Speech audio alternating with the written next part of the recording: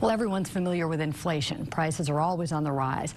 But not as common is deflation, which can be just as damaging to the economy.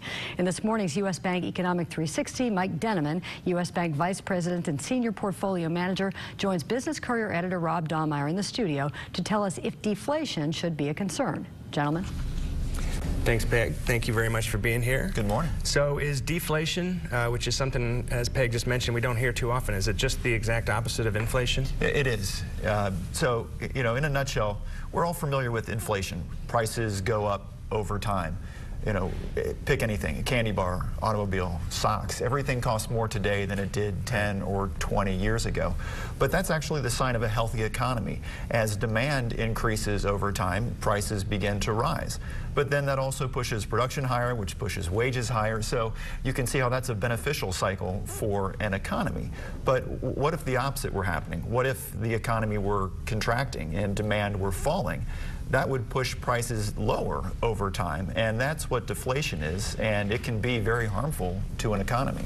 But, uh, Mike, I want to pay less for my socks. Uh, well, what's wrong with lower prices? Uh, right. I mean, it sounds like a pretty good deal. Hey, everything's cheaper. Let's go shopping, right? Yeah. But uh, in fact, you know, it's it, in theory, sounds pretty good, but in practice, actually, again, can be very harmful. So it, it, creates some, some kind of bizarre incentives for consumers. So counterintuitively, consumers tend not to spend when deflation is going on. Mm. So, you know, think about it. If you're in the market for a new car, but prices have been falling over time, you have no incentive to go out and buy that car today. You're going to wait till next month. You're going to wait till the month after that.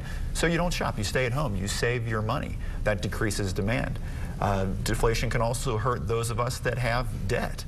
Uh, the way deflation works, it can make it seem as if you're paying more in interest. So you know, your spending power has increased, but you feel like you're devoting more of that to the loan. So if you have a loan, that, that's not helping you get ahead.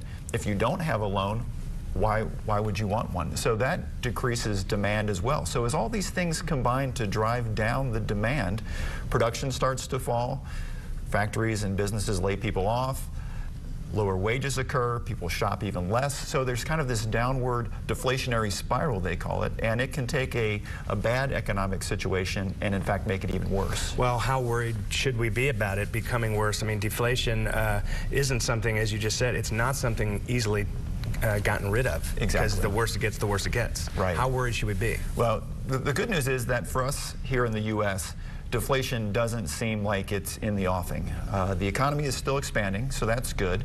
And there are areas of the economy where prices are falling. Gasoline prices, for instance, we talked about just last week are coming down, but that's kind of in isolation. That's not everything across the board. Uh, on the other hand, there are some major economies across the globe that are contracting. Europe, for example, uh, unemployment is very high. Uh, wages are stagnant or falling.